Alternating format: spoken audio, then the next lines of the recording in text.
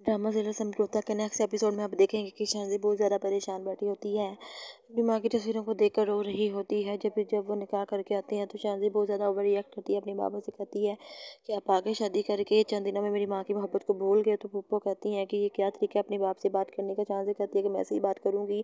अपनी दोस्त वर्दा से कहती है कि मुझे यहाँ नहीं रहना, मुझे अपने घर ले जाओ। तो सब कहते हैं कि शानजी तुम नहीं जाओगी, वो किसी की बात नहीं सुनती, अपने दोस्त के साथ उसके घर चली जाती है। दूसरी तरफ़ जो जिससे बाप का निकाह किया जाता है, उसे कोई अंदर भी नहीं लेकर आता, वह खुद ही अंदर आती है।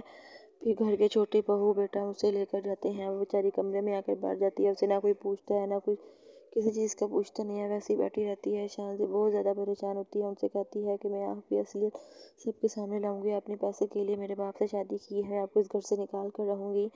से भी अपनी दोस्त के घर आकर बैठ जाती है। घर की बड़ी बहू है, जो कहती है कि शाहजी ने आज कितनी यार खिला की हरकत की है, उसे ऐसे बदतमीज़ी के साथ नहीं बोलना चाहिए था। बड़ों के साथ तमीज़ से बात करनी चाहिए थी। छोटा बेटा है जो अपनी माँ को याद करके बहुत ज़्यादा रोता है। वह कहता है कि मुझे आज अपनी माँ की बहुत याद आ रही है, ना वो फोत होती और ना हमें ये दिन देखने को मिलता।